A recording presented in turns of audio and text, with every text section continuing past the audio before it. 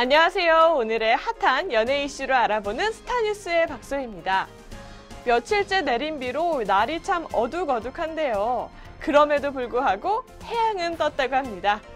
네, 바로 빅뱅의 태양 씨가 정규 2집 앨범 라이즈로 우리 곁으로 돌아온 건데요. 그 뜨끈한 소식 함께 만나보겠습니다. 빅뱅의 태양 씨가 4년 만에 솔로 가수로 돌아왔습니다. 태양 씨는 오늘 0시에 각종 음악 사이트를 통해서 정규 2집 RISE를 발표했는데요.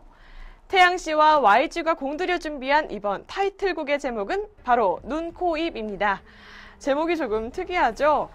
이번 타이틀곡 눈, 코, 입은 태양 씨 특유의 감성 보컬을 극대화한 R&B slow 곡으로 강렬한 퍼포먼스와 직설적인 가사가 인상적인데요. 태양 씨를 응원하는 연예인 군단도 막강합니다. 월드스타 사이 씨는 멀리 미국에서 태양 씨의 뮤직비디오를 리트윗하며 묵묵히 응원을 했고요. 또 빅뱅의 지드래곤 씨도 태양 씨 응원에 나섰습니다. 그리고 또 한 사람, 귀여운 아가씨가 응원에 나서서 화제인데요.